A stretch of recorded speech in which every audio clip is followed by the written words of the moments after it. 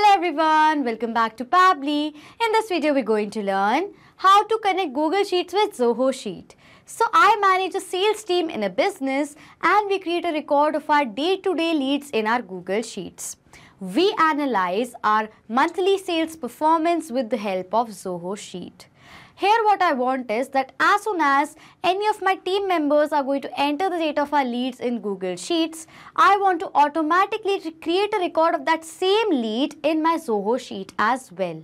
And by doing this manually, it is going to take us a lot of time. So what we did was, we simply created an automation using Pabbly Connect, which is an amazing automation and integration software. So here in this automation, what we are going to learn is that as soon as I'm going to enter the data of my leads in Google Sheets, automatically data of that same lead is going to be created as a record in my Zoho sheet as well. And for that, we are going to create a connection between Google Sheets and Zoho Sheet with the help of Pabbly Connect. So if you want to learn about this amazing automation, then let me take you all to my screen. Welcome to my screen. In this video, we're going to learn how to connect Google Sheets with Zoho Sheet. I'm managing a sales team that uses Google Sheets to track daily leads and Zoho Sheets to analyze monthly sales performance. By connecting these two platforms, any new lead entered in Google Sheets is automatically updated in Zoho Sheet. This ensures that my sales team performance analysis in Zoho Sheets is always based on the most up-to-date data allowing us to make timely decisions and improve sales strategies without any manual data entry. And we're going to be creating this amazing automation with the help of Pabbly Connect. So on the screen, you can see the website of Pabbly Connect, that is pabbly.com slash connect. After browsing this website, we need to sign in to our Pabbly Connect account. But if you're a new user, you can sign up for free and get 100 free tasks every month. So as I'm an existing user, I'm going to sign in to my Pabbly Connect account.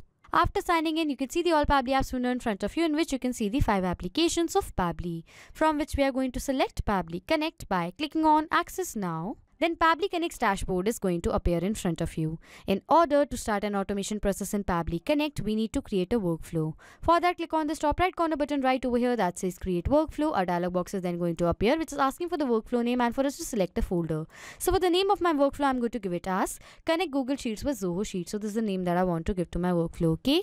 Next, it is asking for us to select a folder. So on the left side of my screen, you can see I've created multiple folders in my Pabbly Connect account from which I'm going to select a specific folder in which I want want to save this workflow in. For that, click right over here. So these are the folders from which I'm going to select Google Sheets Automations as the folder I want to save this workflow in. After giving a name to our workflow and selecting the folder, let's click on Create. In order to create a workflow, a workflow is created in the name of Connect Google Sheets with Zoho Sheets and there are two windows in front of you. One over here says Trigger, other says Action. Trigger and Action are the two most important steps of our automation process because the process depends on these two concepts. Over here, Trigger says when this happens and Action says do this. That means our action is a response towards our trigger. In an automation process, there can be only one trigger step but multiple action steps. We're going to set up our trigger step first. And for the trigger application, I'm going to select it as Google Sheets. As my objective is that, that as I'm going to enter the data of my lead in Google Sheets, automatically the record of that same lead should be created in my Zoho Sheets as well. So that is why for the trigger application, I'm going to select it as Google Sheets. And for the trigger event, I'm going to select it as new or updated spreadsheet row. As whenever the new data is going to be entered in the spreadsheet, automatically Pabbly Connect is going to capture the response. After selecting the trigger application and the event, you can see that Pabbly Connect has provided us with a webhook URL. With the help of this unique webhook URL, we are going to connect Google Sheets to Pabbly Connect by following the steps given here below in the help desk. So firstly, I'm going to copy this URL from here. After copying the URL, I'm going to open my spreadsheet that I want to connect to Pabbly Connect. So this is a spreadsheet that I've created in the name of leads detail and I want to connect this spreadsheet to Pabbly Connect so that whenever I'm going to enter the data of the leads in the spreadsheet, automatically Pabbly Connect should capture the response. To connect the spreadsheet to Pabbly Connect from the bar right we have to click on extensions. After clicking on extensions, click on add-ons and then on get add-ons. Then a new window is going to appear on which on the search bar we have to search for Pabbly Connect webhooks. We're going to select Pabbly Connect webhooks as I've already opened Pabbly Connect webhooks. You can see that as I've already installed Pabbly Connect webhooks, so I'm going to move forward. But if you have not installed Pabbly Connect webhooks, please do install it so that you can connect Google Sheets with Pabbly Connect with the help of this webhook, okay? So that Google Sheets can send the data to Pabbly Connect. That is why it is very important to install Pabbly Connect webhooks. So I'm going to move back as I've already installed Pabbly Connect webhooks. As then I'm going to install Pabbly Connect webhooks, I'm going to refresh this page from here. As I've refreshed the page, I'm going to go back to extensions. You can see now from the options, it says Pabbly Connect Webhooks. We're going to click on it. As we're going to click on it, under the options from Pabbly Connect Webhooks, we're going to select Initial Setup button. As I'm going to do that, a new dialog box is then going to appear in front of you, which is asking for the webhook URL and for the trigger column. So for the webhook URL, I'm going to paste the webhook URL that Pabbly Connect has provided us. And for the trigger column, it says the trigger column will be a final data column on which if the data is added. So in this spreadsheet, the trigger column of this spreadsheet is column D because in this column, whenever the data is going to be added, it is going to be triggered and it is going to send the data to Pabbly Connect. So for the trigger column over here, I'm going to write over here as column D. After pasting the webhook URL and selecting the trigger column, I'm going to click on this submit button. As I'm going to do that, you can see it says setup configured successfully. So I'm going to go back. I'm going to go back to extensions and Pabbly Connect webhooks again. The steps that I'm going to tell you right now very important. So please do not forget to follow them. As I'm going to click on Pabbly Connect webhooks, now from these options, you're going to click on send on event as over here it is saying working. As the loading is completed, I'm going to go back to extensions and Pabbly Connect webhooks. You can see a tick mark is in front of send on event. It is very important to click on send on event so that whenever a new data is going to be entered in the spreadsheet, this spreadsheet is going to send the data to Pabbly Connect. That is why it is very important to click on send on event. Okay. If I'm going to go back to my workflow, you can see it is saying waiting for webhook response. So now what we are going to do is we're going to enter the data of a dummy lead in the spreadsheet and we're going to check whether Pabbly Connect captures the response of the lead that we have entered in the spreadsheet or not. For the first name of my lead, I'm going to write it as test.